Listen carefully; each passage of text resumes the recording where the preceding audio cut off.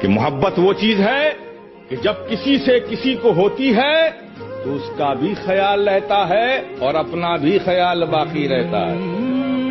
लेकिन इश्क वो चीज़ है कि जब किसी से किसी को होती है तो सिर्फ़ उसका ख्याल रहता है, अपना ख्याल नहीं रहता।